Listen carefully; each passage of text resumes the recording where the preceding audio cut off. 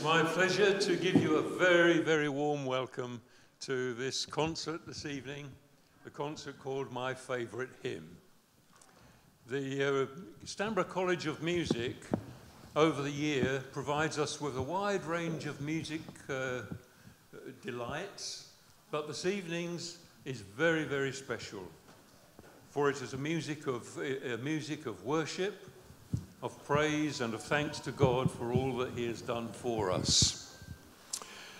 Um, there will be some, um, be many music, uh, instrumental and vocal uh, pieces of music presented to us. Uh, and also, but most of all, the congregational singing, which you will be part of uh, as we raise our voices God, to, to God in prayer and praise.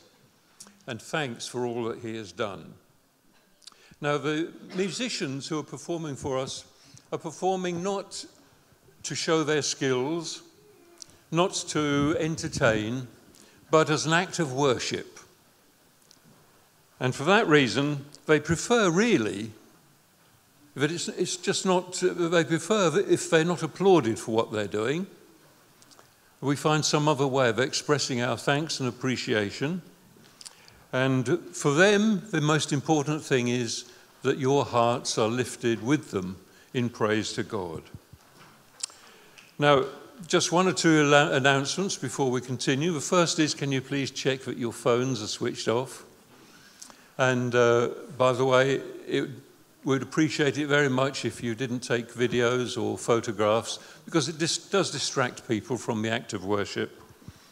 The program will now follow unannounced all the way through, but uh, after the service, after the concert, we invite you to join together with the young people and those older ones who are, who are playing for us in, for drinks in the Cedar Sycamore Room.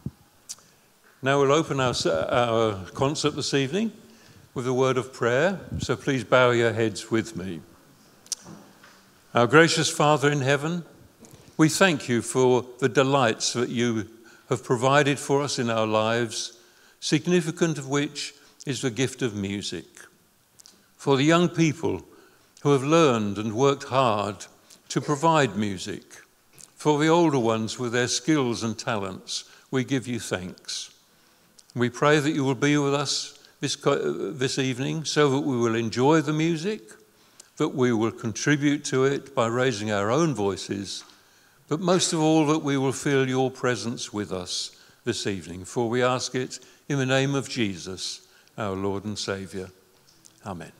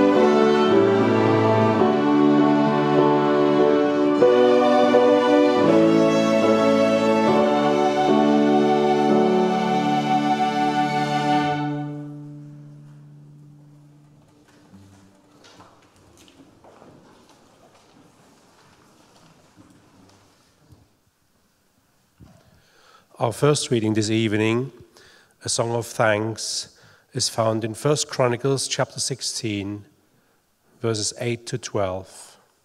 And it reads Oh, give thanks to the Lord, call upon his name, make known his deeds among the peoples. Sing to him, sing praises to him, tell of all his wondrous works. Glory in his holy name. Let the hearts of those who seek the Lord rejoice. Seek the Lord and his strength. Seek his presence continually. Remember the wondrous works that he has done, his miracles, and the judgments he uttered. So reads the word of God.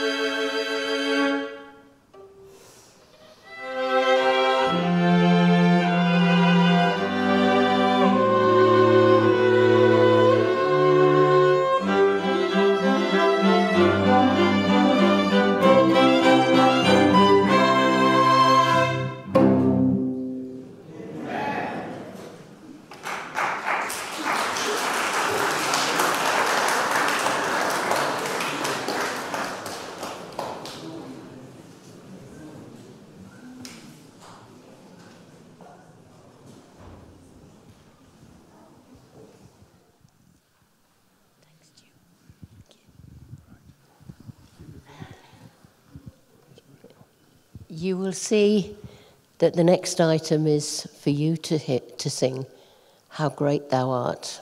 Why is this my favourite hymn? I grew up in a home that was quite musical. In fact, one of our favourite texts was from Isaiah 12, which, and my parents wrote that in the hymn book they bought for me. Sing to the Lord, for he has done wonderful things. And my dad had a wonderful tenor voice, and my mum used to play the piano or the organ, whichever was available. And when this hymn was first published back in the 50s, a long time ago, they bought the sheet music and they learnt it very quickly. And Dad used to go around singing it in as many places as he could. And one of those places was to my parents' parents who were Christians, but not of the same faith as us. And Grandad learned those words very quickly as well. And the two of them used to sing along. And this hymn means so much. The first two verses deal with the wonderful creation that God has made for us.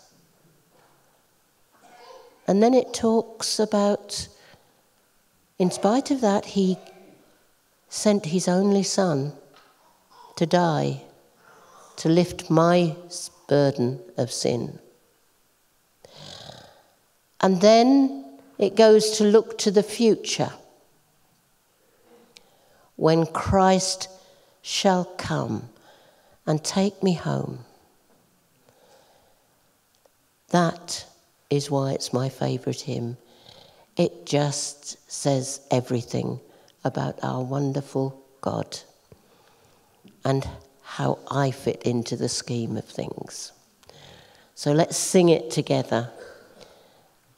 Thank you.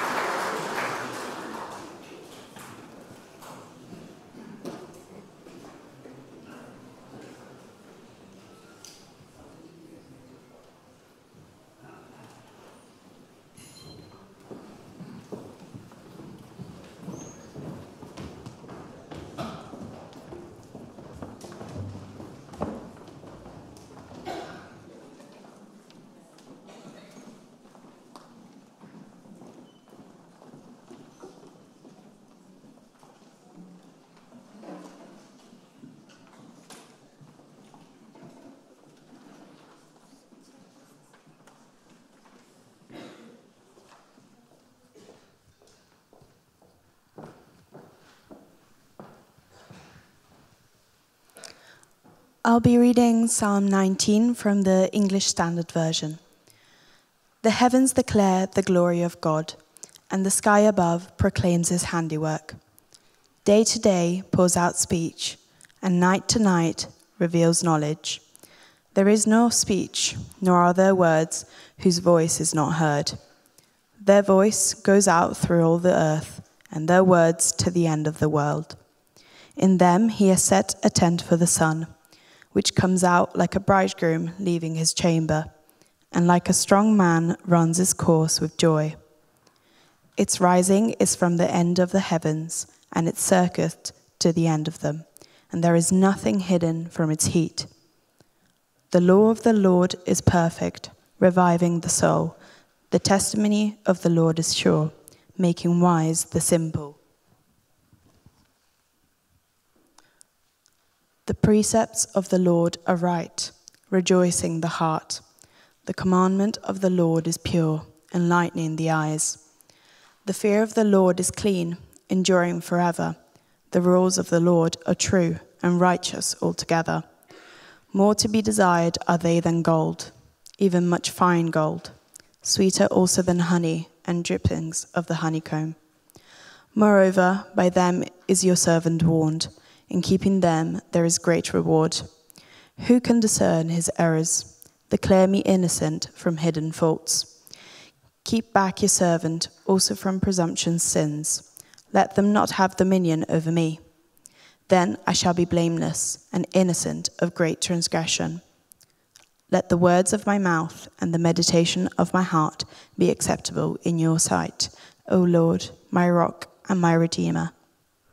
So reads the word of God.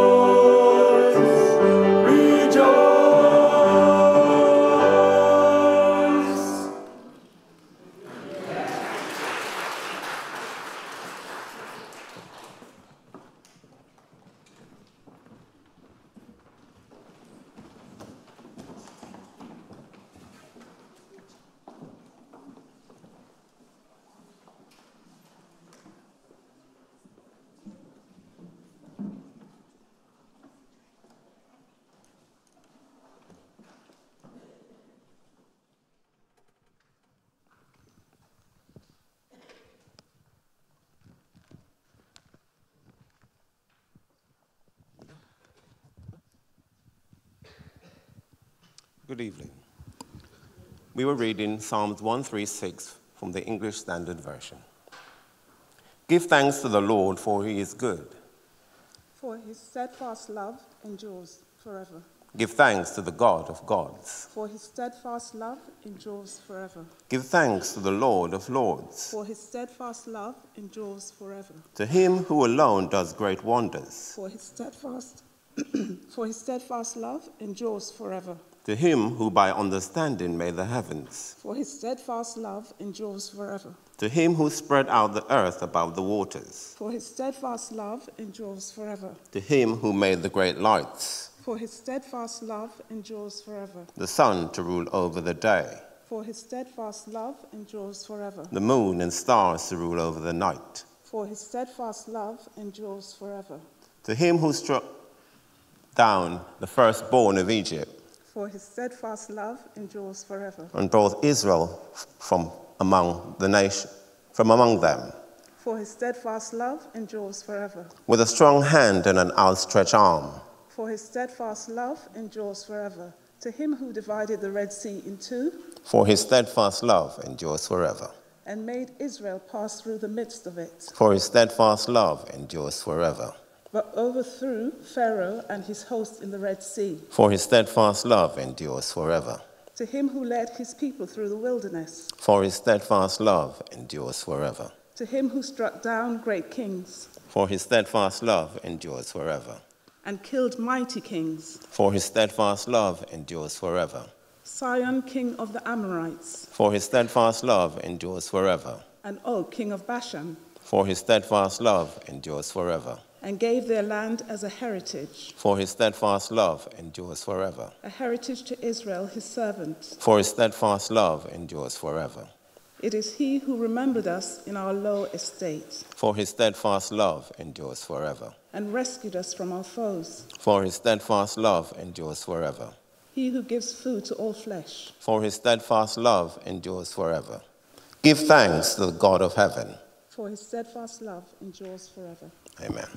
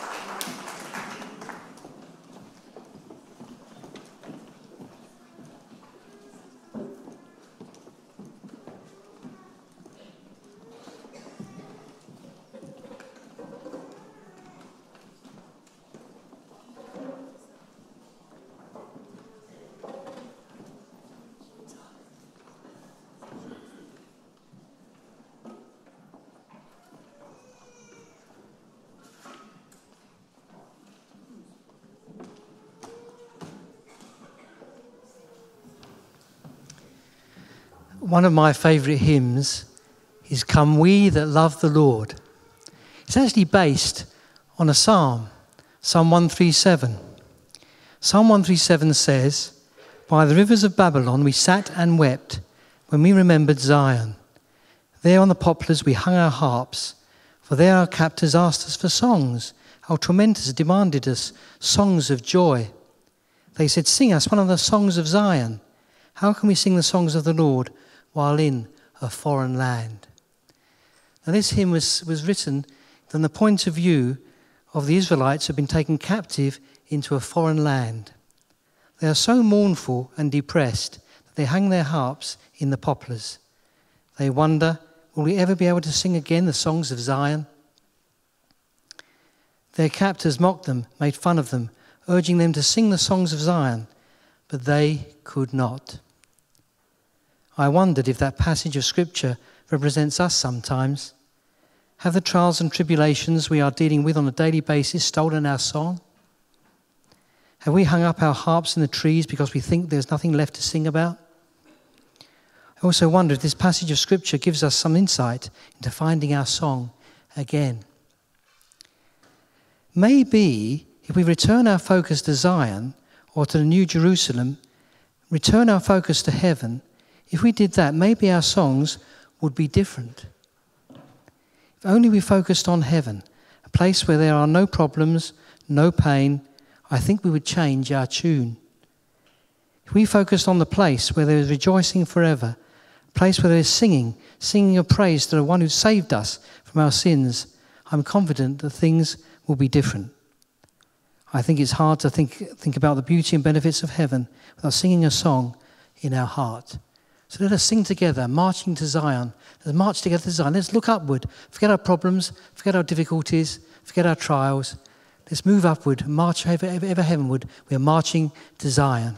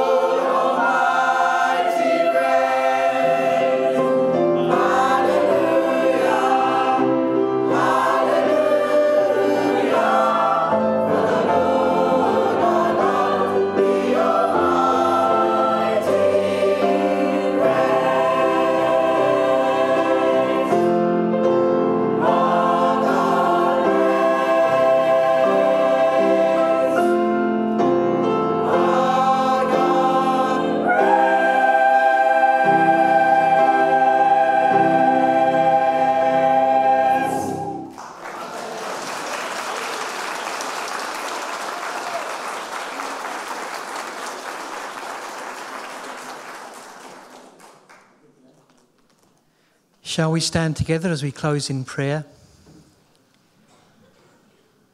Dearest Jesus, we thank you for this evening. We thank you, Lord, for the songs of praise that lifted us to Zion.